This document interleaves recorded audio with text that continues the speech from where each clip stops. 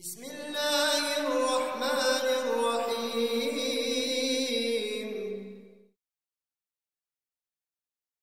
بسم الله الرحمن الرحيم. الحمد لله رب العالمين. حمدا يوافي نعمه ويكافئ مزيدا اللهم صل على سيدنا محمد طب القلوب ودوائها وعافية الأبدان وشفائها وقوت الأرواح وغذائها ونور الأبصار وضيائها وعلى آله وصحبه وسلم First of all, Eid Mubarak to you and yours. I trust ukuthi everyone uyidle kamnandi. Even though it was a very different Ramadan, I pray that we all tried our utmost to make the best of it, reaping as much reward as possible. A believer is always striving to be with Allah subhanahu wa ta'ala regardless of the situation he finds himself in. Nabi Yusuf alayhi salam was with Allah in the presence of his father Yaqub while everything was going well. He was still with Allah subhanahu wa ta'ala when his brothers betrayed him. He was with Allah subhanahu wa ta'ala when he was taken and sold as a slave. He never lost sight of Allah while working in the palace. He was not distracted by the majestic royalty of the palace. He was with Allah subhanahu wa ta'ala when the wife of the king tried to seduce him. And he was still with Allah subhanahu wa ta'ala when ladies were drooling over him. He remained with Allah in prison and he was still with Allah subhanahu wa ta'ala when he was in charge of the Baytul Mal, distributing in the most fair manner. And he was still in divine presence when he forgave his brothers. So a believer's opinion of Allah subhanahu wa ta'ala or servitude to him, capital H, Allah subhanahu wa ta'ala does not change with the changing of circumstances. His heart is forever fixed or directed at Allah. He makes do with whatever situation he finds himself in.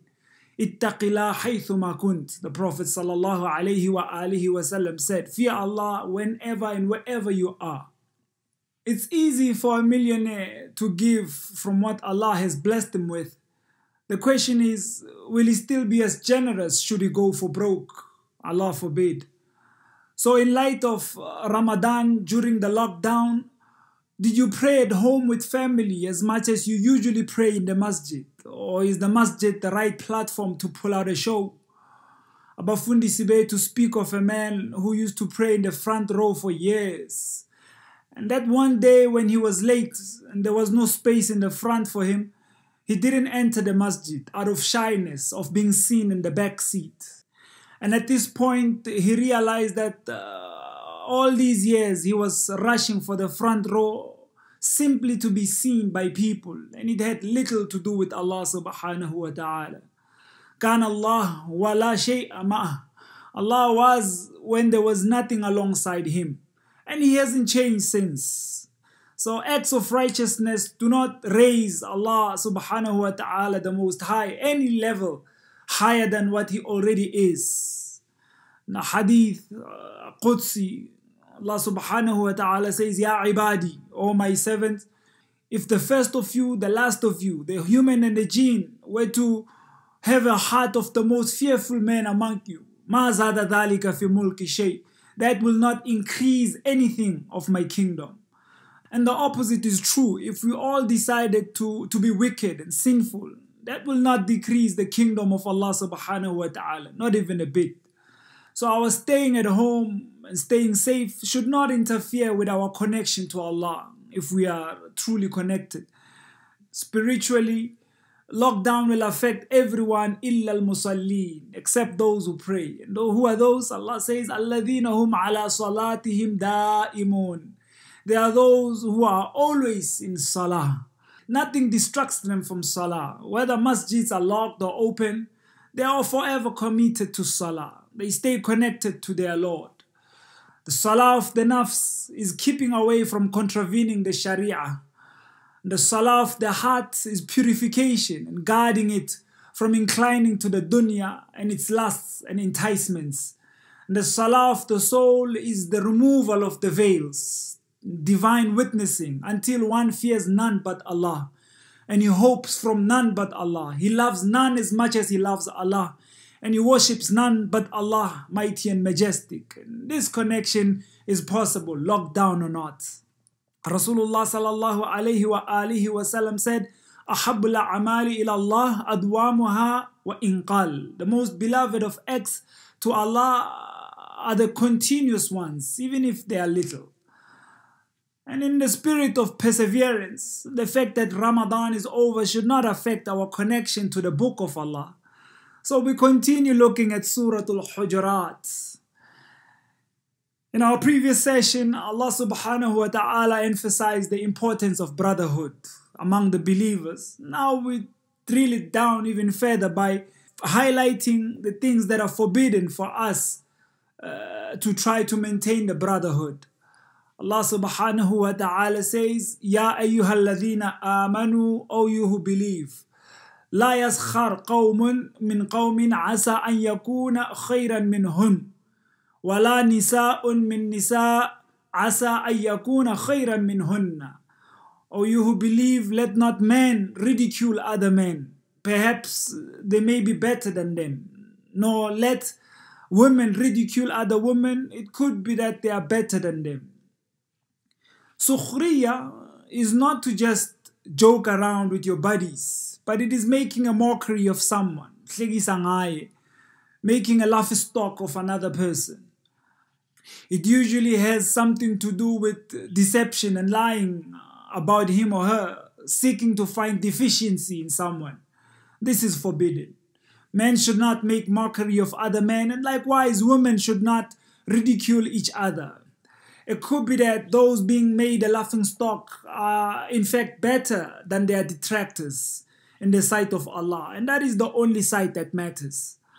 Allah subhanahu wa ta'ala makes a distinction between al qawm and an nisa. Al qawm is usually translated as people. In a comprehensive meaning, it includes men, uh, women, but technically it doesn't. الرجال قوامون قام يقوم it is to stand. The Jahiliyyah understanding was that men are those who should stand up for their people or tribe. Hence, al qawm is usually translated as people. A man is he who stands for something. As in the words of Al Hajj Malik al Shabazz, if you don't stand for uh, something, you'll fall for everything. Al Qawm, some have said that if women were part of Al Qawm, there would have been no need for Allah subhanahu wa ta'ala to caution the women separately after mentioning Al Qawm. Wala nisa min nisa. But others say no, women are in fact part of Al Qawm. And the reason Allah subhanahu wa ta'ala warns women separately is because sukhriya, ridiculing others, is predominantly done by women. So an extra admonishing is necessary. Moving forth, Allah further says, وَلَا تَلْمِزُوا أَنفُسَكُمْ وَلَا تَنَابَزُوا بِالْأَلْقَابِ Do not negatively criticize, slander one another, and do not call each other by offensive or demeaning nicknames. Alams is afflicting your brother's or your sister's honor by secretly talking about him or her in a way to expose their faults. This is impermissible. What's also impermissible is insulting each other with demeaning titles. بئس الاسم الفسوق بعد الإيمان ومن لم يتوب فأولئك هم الظالمون Wicked or evil is the word or the name of disobedience after a person has believed, and whoever does not repent, those are the wrongdoers, oppressive on themselves. It is said that the name of obedience here, for example, is when a person who used to be a Jew or a Christian is still addressed as a Jew or a Christian, even after he has embraced Islam. And this used to be the practice of Muslims seeking to demean the later converts. And this is still happening nowadays. When some people refer to us as converts or reverts, you can somehow still sense a level of arrogance, a claim of seniority, like there's nothing you can tell me. But even in our small communities, this is still happening. For example, when they ask, which Hassan are you talking about? And you hear Abantubati, lo mpostoli, lo wesioni, referring to a Muslim uh, using his or previous lifetime's title. Fusuq badal iman. Evil is the word or the name of disobedience after a person has embraced Islam. Now, there are various uh, narrations on the reason why this verse was revealed. One of them is that which was related by Ikrimah, that it was revealed about some of the wives of the Prophet wasallam who used to make fun of Umm Salama, another one of the wives, due to her shortness. And some said it was because they used to make fun of Safiya and calling her a Jewess because she was a Jew before she entered Islam. Another has it that Banu Tamim used to make racial remarks directed at Bilal, Ammar, and Suhaib since they were non Arabs, which is something that Allah subhanahu wa ta'ala will address in the next few verses, inshallah. And there are also versions that uh, says that it was revealed about a few Muslims who used to refer to Akrama as the son of Fir'aun because his father was Abu Jahl, the fierce enemy of Islam, and his son became Muslim. This verse prohibits believers from doing three things. Firstly, sukhriya, ridiculing and making mockery in an insulting way, usually lying about him or her. Secondly, lams, secretly harming a person's honor by exposing his or her faults. And thirdly, tanabazu bil alqab, addressing or referring to believers using terms that will smear the character in a way to lower his dignity or reputation. All these uh, are either done by either speaking or just merely signaling with your eyes or hands. Uh, as Lady Aisha once made a sign with her hand signaling that Safiya is short, and Rasulullah sallallahu was not impressed. He said, لقد قلت كلمة لو مزجت بماء البحر لمزجته. You have said a word which would change, meaning pollute the sea if it were mixed with it. Now, all these three acts are impermissible. They are the opposite of what brotherhood or sisterhood is supposed to be. And we all have faults.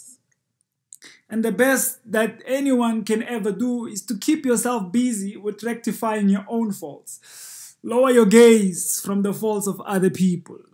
One of the punishments of entertaining other people's faults is that you may end up with the same faults. And we have seen this often enough. So let that which you know about yourself uh, stop you from finding faults about others. Rather, spend more time thanking Allah subhanahu wa ta'ala from having saved you from those type of faults. The one who spends time thinking or working on his own faults has no time left to entertain or dwell in other people's faults. Uh, the Prophet wasallam said, "Blessings be upon him whose own faults prevent him from finding faults with his believing brothers, and of course, sisters is implied." The way of the people of Allah is that they respect and venerate every creation of Allah subhanahu wa ta'ala. That is simply because they understand that Allah subhanahu wa ta'ala did not create anything in jest, just passing time. Do not look at anyone with the gaze of disrespect or consider anyone to be unworthy or look down on him or her because in looking down on anyone is a sign that you see yourself on a higher level, on a higher maqam, on a higher rank. And this is the trait of Iblis. He saw himself better than our father Adam. Granted, our gaze may occasionally fall on people's faults. At that instant, the least one can do is to remain silent about the faults of other people. In fact, it would be praiseworthy to try to find excuses for them and cover their faults in hope that Allah subhanahu wa ta'ala will rectify your faults for doing so. The Prophet sallallahu alayhi wa wasallam said, Man satara musliman satarahu Allahu fi dunya wal akhirah. Whoever covers the private matters of a Muslim, uh, Allah subhanahu wa ta'ala will cover his private matters in this life and in the next life. will cover his shame. And he also said, Sallallahu Alaihi wa wasallam, whoever concerns himself with the private matters of another Muslim, Allah will look into his private matters and then he will expose and shame him, even if he were in the privacy of his home. Imam Malik once said, I have met people here in Medina who had no faults of their own, but they spoke about other people's faults so much that their faults became exposed. And I've also met people here in Medina, those with many, many faults, but because they kept quiet about other people's faults, so other people kept quiet about their faults too. وصلى الله على سيدنا وحبيبنا محمد وعلى آله وصحبه وسلم